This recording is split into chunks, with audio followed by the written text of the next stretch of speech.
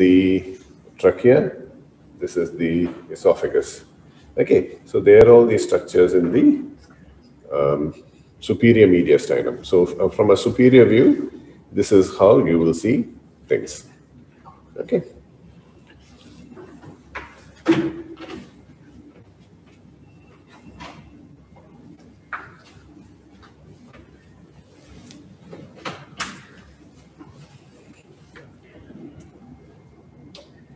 If you have a look at this here, this would be the SVC.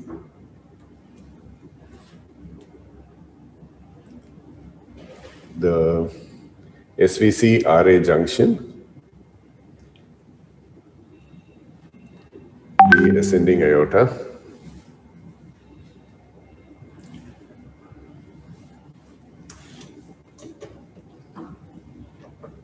And out here you see the pulmonary artery. The pulmonary artery divides into two. It continues on as the left and the right pulmonary artery is given off there. So the right pulmonary artery, the RPA, it goes behind the aorta. Okay. So the right pulmonary artery goes behind the aorta. So that is the right pulmonary artery. And on this, between the aorta and the SVC, you will see the right pulmonary artery there. Okay. So that is the RPA going behind. And if you trace it onto the hilum of the lung, you will be able to see the right pulmonary artery here. Above that would be the bronchus. Okay. So because this bronchus is above the right pulmonary artery, it is called the eparterial bronchus. So the right bronchus is eparterial because it is above the pulmonary artery. Right. The pulmonary vein is below there. So these are all the structures in the hilum of the right lung.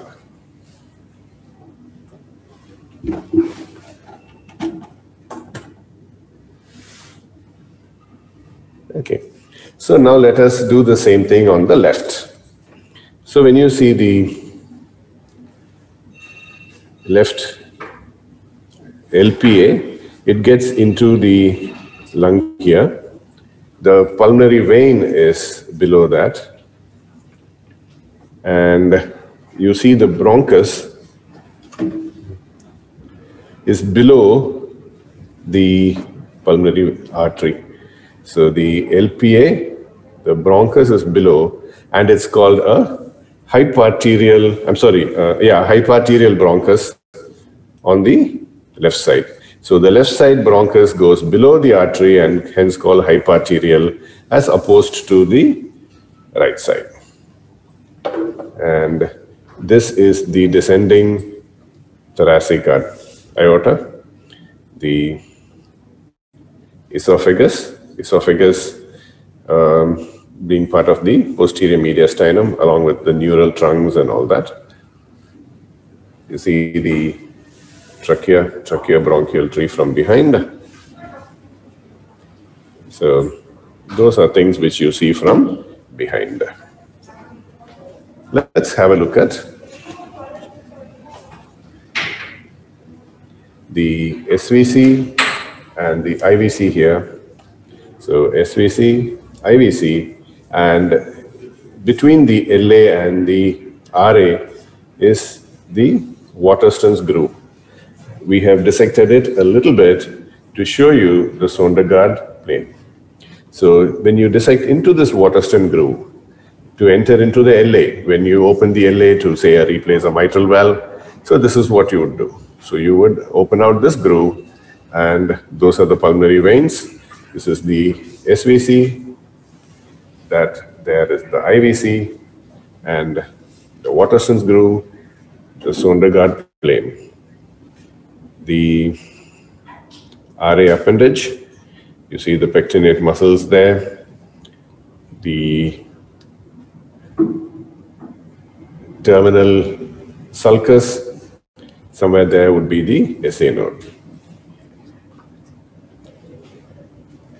So this is what we learn from the mediastinal structures, the heart, the great vessels, the relationship of the branches to the hilum, the transverse sinus, and the oblique sinus, which we have shown you with these specimens.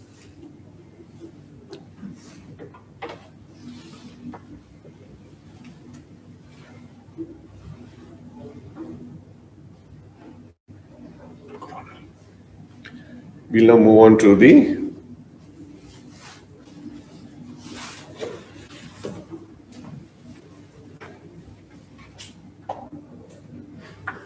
PowerPoint.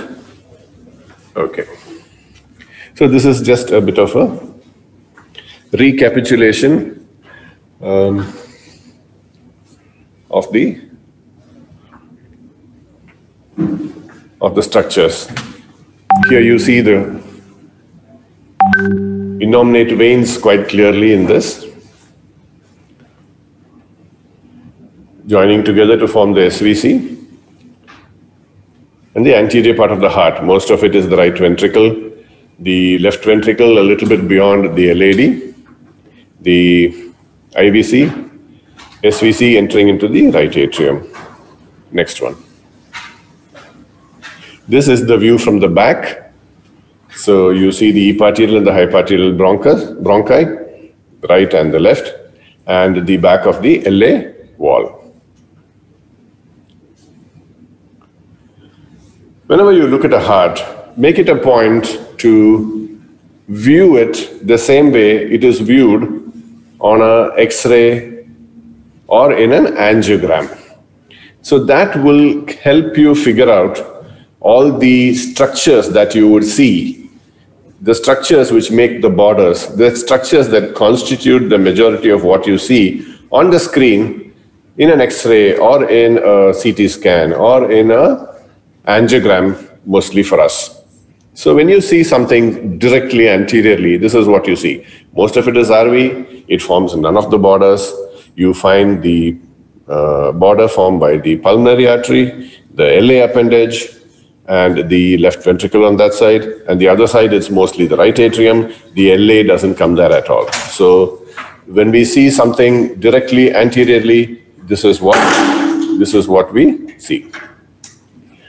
When you move, next, when you move the heart, when you see it from posteriorly, this is what you see. Most of it directly when you see would be the LA, but pretty much it is the borders are formed by the same thing which you saw anteriorly. So when you when you have a chance to to see a heart, um, you borrow a heart from anatomy, look at it on, in all directions and see what you see.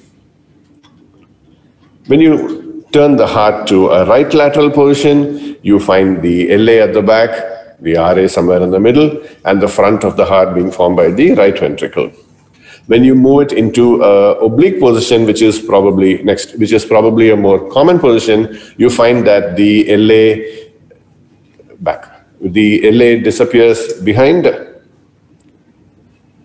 The LA disappears behind the pulmonary veins, just popping out onto the just beyond the RA SVC on top, IVC below, most of the RA being seen there, and the border formed by the LV and the apex by the RV. So this is this would be a right anterior oblique view.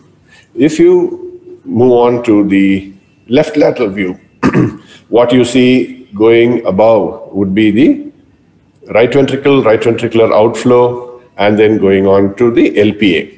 And around the LPA, you find the arch of the aorta. Um, below that would be your pulmonary veins around which actually these things go. So you view this like this. If you move it into a more um, oblique position, you find that these fellows tend to disappear slightly to the back and more of the ventricles come into view.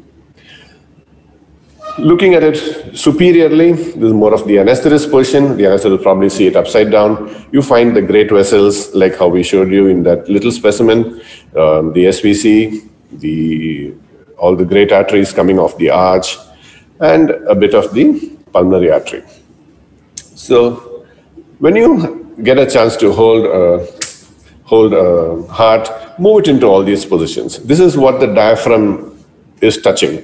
And the IVC and the descending aorta penetrating the um, diaphragm, and this inferior wall and a bit of the right ventricle actually sitting on the central tendon of the diaphragm. That is why in an inferior um, wall MI, you get diaphragmatic irritation, people may vomit. So these kind of things get gives you an insight into presentations, symptoms, diagnosis, etc.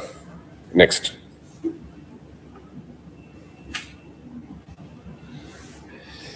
This is the picture which shows you the um, and cardiac picture, which shows you the transverse sinus and the um, oblique sinus, and putting the heart back in there.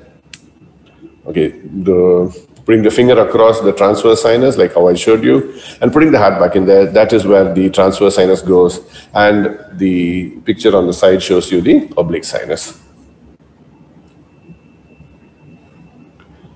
The projections as you see in the X-ray. So whenever you look at an X-ray, you think about what you saw on the real specimen. So these are kind of fill in the blanks. When you look at an angiogram, when you look at an X-ray, they show you certain things. You have borders, you have things which have enlarged, you have things which may have become shrunken or absent, but always your brain has to do the fill in the blanks with these specimens which actually you would have seen and loaded onto your cerebrum.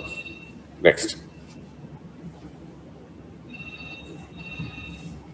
This is an MRI which tells you, you know, say if you do a sternotomy, which portions of the heart are right below that. How do you approach? If it's a redo, it makes so much of difference to you. So how much space do I have? How do I how, how much care do I give? How do I get in? You know, these are things which will, which these sort of pictures would would tell you. Okay. I think we'll now move on to the to the discussion about coronaries.